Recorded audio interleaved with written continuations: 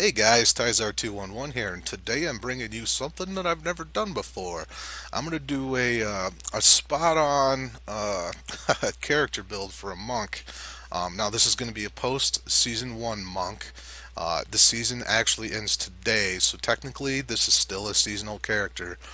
But as of tomorrow, all the gear that this guy's wearing will become uh, available um, to uh, anybody who did or decided not to participate in the seasonal shit. Um, yeah, and there's a there's a couple pieces of gear that are that are really key uh, that are seasonal. So I'll get I'll get right down um, I'll get right down to the gear and uh, I'll just show you. I obviously have played the shit out of this guy, 208 Paragon level. Now this set's not necessary, but the 500 dex bonus is nice, and that would be these two pieces right here. Um, obviously the shoulders, I had nothing to roll off of them uh, for damage, so I went ahead and uh, rolled health globes and potions onto it. Really not all that important. Um, that's just a placeholder right now. The helmet is can be basically anything. And then we got our uh, critically acclaimed Aurora Boris. Excellent piece of gear. Um, now this is an ancient item. Uh, this is something that was just released with the last patch. That's what these guys are down here. Uh, basically, they're uh, souped up legendary items, if you did not know. Uh, the only thing that's really different is they roll um, higher stats. Uh, for instance, this can roll up to 650 stats. A normal set of bracers, I believe, can only roll up to 500 or so. Um, it's one of the few pieces of gear I found that was a decent replacement. Uh, this set is absolutely necessary. Blackthorn Surcoat. You need that four set bonus for uh, uh, for uh, Torment Six and uh, high level rifting. Um, the you are immune to desecration, molten, and plague monster ground effects is just amazing, and it allows you to tank so much more damage. And that would be these three pieces right here. Now the reason I only have to wear three is because I'm also wearing um, the Ring of Royal Grandeur, which uh, allows me to reduce the number of items needed for set bonus by one. So that is also a must for this particular build um, because the crudest boots added an interesting effect. Uh, and I believe that these are also available for non-seasonal characters at the moment. But like I said, in a day it's not going to matter. Uh, Mystic Ally summons two Mystic Allies that fight by your side. now when I go through the, the build, you will understand why that's exceptionally important. You can see my two Mystic Allies standing out here. Both fire, so that increases my damage by a lot. As you can see, I'm pulling over a million damage. Um, this right now is just a placeholder. It's a pretty decent weapon. It's very unimportant as to what it is, other than the fact that it has 17,000 life per hit on it, which is actually really important. the crudest boots are one of the key pieces, and this is the uh, the main one. This is like the only reason that this build works. well, I guess it could work, but this is, uh, yeah, the pièce de résistance. the the secondary ability down there, uh, increased maximum stat count of Sweeping Wind by 3 is just amazing. And when you stack that with Sweeping Wind with um, blah blah blah, Blade Storm, it allows you to have over 900, I guess it wouldn't be over 900, it'd be 870% weapon damage that it deals um, per second, I believe. Continuously deal, yes, yes, yes, yes. So that piece of gear is particularly important. Now let's move on to uh, to skills. There we go. Now I'm using Crippling Wave only because uh, that's my main attack and that's my Spirit Generator. The only reason I'm using that is because it hits a lot more enemies and every third hit dazes them. So that also helps with survivability. And uh, it slows down uh, their attack speed and whatnot. and they also take additional damage from all attacks for 3 seconds, which would also include Sweeping Wind. And then Cyclone, sli blah, blah, Cyclone Strike. Uh, now I use that with Implosion. And as you can see, Implosion increases the distance uh, that you can suck people in, which is uh, very, very important. Um, Yeah, because you want as many people around you as humanly possible. And then I'm currently using Mantra of Healing. Uh, that just helps with survivability a little more. I'm doing plenty of damage. And uh, in a group of uh, two, three, or even four, um, they appreciate the extra healing too. And then Sweeping Wind. Blade Storm here is really the only option.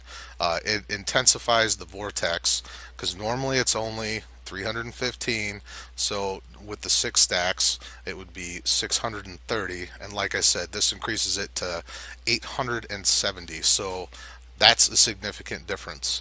Now you could go with any of these but um, I find that Blade Storm is the best and then let's move on to Dashing Strike. Now, this is important for uh, moving around really fast, and the 15% increased attack speed is really nice. It helps with single target damage, and me, for instance, it jumps my damage to about 1.2 million uh, when I'm single targeting stuff. And Mystic Ally. This this is a big one too. Your Mystic Ally splits into 10 allies. Uh, that's for active. Uh, Mystic Allies fight by your side that increases your damage by 10%. Now, that's why the Crudest boots are extremely important because that gives you a 20% increase in damage for the two of them. Obviously, very important. I'm using. I'm currently using uh, Sixth Sense again to help with survivability. T6 is pretty fucking rough so I would suggest not even trying it unless you're rocking, eh, I would say about 40 million, um, 40 million toughness and approximately, uh, I would say 1.5, 1.4 million recovery, thereabouts. And uh, this is also good. Um, also for survivability, while dual wielding, you gain 35% chance to dodge incoming attacks. Now, if you prefer to use a shield, if you happen to get lucky enough, for instance, to find an ancient, um, what the hell was that item called? An ancient vengeful wind, then uh, yeah, that would be that would be ideal, obviously. Uh, and here's harmony. Uh, obviously, again for survivability, very very important to be able to stay alive. And determination. Each enemy within 12 yards increases your damage by 4% up to a maximum of 20. You always have that many people around you, unless you're like at the end of a rift or something like that, especially with Cyclone Strike. It's just amazing how high your damage goes. Uh, I think if I do uh, Dashing Strike into something and I Cyclone at least four people into me, or five, I guess it would be, five people into me, uh, I pull approximately 1.4, 1.5 million damage. Okay. Now let's take a little quick look. All of those are very important, by the way. That is the exact build I would use. Um, you can switch up your passives. Uh, Sixth Sense maybe could be switched out for eh, possibly seize the initiative. Near death experience is also very good. Um, Mythic Rhythm is good. Momentum is shit. Uh, and Unity is actually really, really quite good if you're running with a four group all the time. But if you're like me and you solo a lot of shit, then it's really kind of a waste. now, as far as all that goes, uh, relent, let, that's not very good. That's not very. That's not important at all. Uh, Guardian already have that.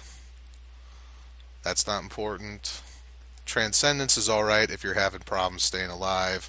Exalted Soul, if you just put points into Spirit on your uh, Paragon levels, that pretty much uh, takes care of that problem. Um, damage you deal reduces enemy damage, that's okay too. But basically, most monks' abilities are all based on damage mitigation anyway. So, yeah. The only skill that I would suggest, or the only two skills, I guess, that you could possibly switch out. If you're not having any problem staying alive, you can go ahead and switch this off and put whatever mantra on you want. Um, and Crippling Wave, I actually prefer um, Wave 100 Fists or Fists of Thunder. I don't like Deadly Reach, but uh, the re- again the reason I'm using that is because it allows you to build the stacks for uh, Sweeping Wind really really fast. Um, it just seems to work better. now I'll go ahead and show you guys some ancient legendaries that I found. This one, is actually better than the Gift of Solaria that I'm wearing. However, it does not have a socket on it. I like the, the increased life per hit on it. I like the increased dex. Uh, if I hold shift, you can see that if I put uh, the same gem in it, it's going to increase my damage by, by 5.4%, and my toughness, and my healing, so it's obviously an all-around better weapon. However, I don't have a cube yet. so that's waiting to get cubed and uh, get a socket put in it, and that's going to be good to go. Um, this is just another item that I'm holding for um, my monk uh, that is a, that is already a non-seasonal character, so he'll be able to dual wield. Because I am rocking another Vengeful Wind. So I'll basically be able to do the exact same thing with both my monks. Um, again, a Fleshrake, another ancient legendary item. That's actually a little better, but it does not have any uh, uh, life per hit on it, and I don't. I think I checked, and I can't roll the 35.7% uh, fleet. Blah blah blah blah blah. I can't roll that off for uh, life on hit. So I have kind of decided not to use that one. I haven't really messed with it too much. Um, the gain 510 life per spirit spent. That's all right because you can you can blow through all your spirit really fast just by spamming cyclone strikes. So I may actually go ahead and use that one instead. But the the loss of the healing is it's that's a big bone. this is the only two-hander I've been able to find, and as you can see, the damage on it is just amazing. I haven't rolled anything off of it. Um, because I'm thinking I might uh, save that for uh, a wizard or something and roll the dex off for vitality. A wizard or a barbarian or something. And uh, here is an item I got from Kadala. It's another ancient item. And uh, you're looking at blah blah blah. Eh, pretty good damage, pretty good everything, and I'm thinking that that's going to be an upgrade for my wizard. Um, that I just kept because it's a set ring, and oh, I forgot. I, I did find this. This was an upgrade for me the other day. Uh, that's pretty good too. So now I'm going to skip ahead and do some gameplay with you guys so you can see exactly how um, the build works and how quick it just kind of melts guys on T6. Alright, here we are. And as you can see, I got a big group of guys leeched up. Everything just dies quicker than hell.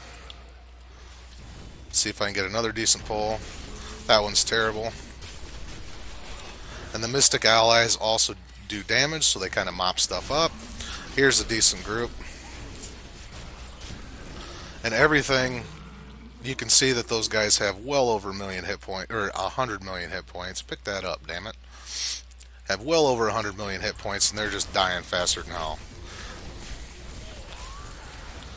Regular rifts are not a problem. I can easily do up to um, level 29, level 30 rifts by myself. Sometimes they can get a little rough depending on the, the mob setup. And here you go. Here's here's a rare pack, which is exactly what I was looking for. As you can see, they're not dying super fast, but they are going down, and my health is staying almost completely full 100% of the time.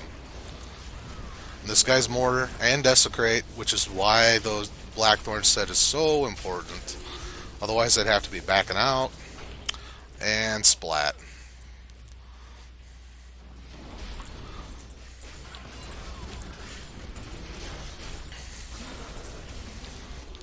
The only thing that you really have to watch out for, I mean, look at that guy, 150 million hit points, and his life just kind of went bye-bye. Ideally, what you want to do is you want to move around and keep your stacks of sweeping wind all the time. So a lot of times I end up teleporting around with dashing strike. As you can see, I'm using Cyclone Strike a lot. But once I get everything sucked in, now this group is one of the few groups that I have problems with.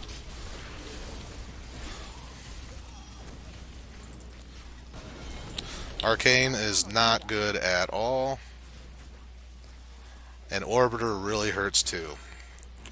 Which is why I have the Mantra of Healing on.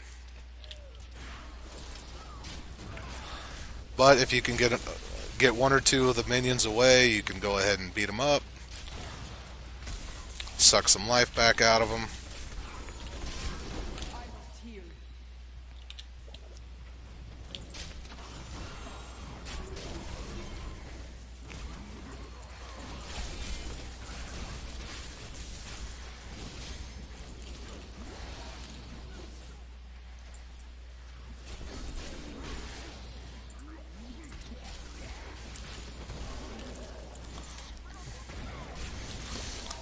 Also, a good reason why Dashing Strike is in this build is to just be able to get out of shit quickly.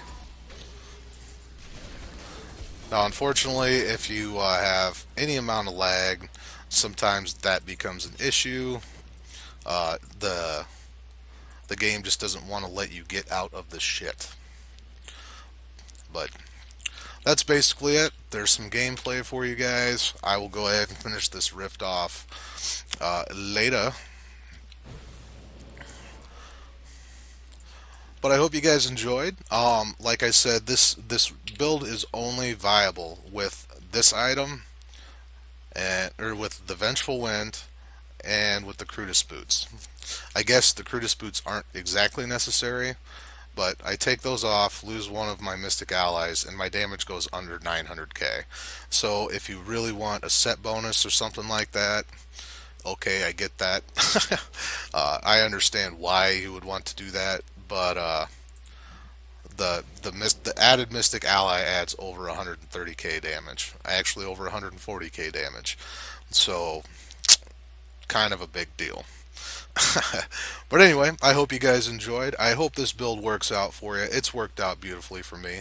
Um, there are still some upgrades I need. I need another gem there. Not really particularly happy with my helmet, seeing as how I don't use Wave of Light. Um, but eh, what are you gonna do? you can't win them all, right? There, like again, are, there is room for improvement. But like I said, I hope you guys enjoyed. Um, I might do another one of these. Uh, oh, possibly during season two with whatever character I decide to level up and make my main. And uh, yeah, hopefully that'll be good for you guys. But anyway, until next time, this is Tyzar211. Hit that like button, hit that subscribe button. Tell your mother, tell your friends, tell everybody you know. Until next time, take it easy.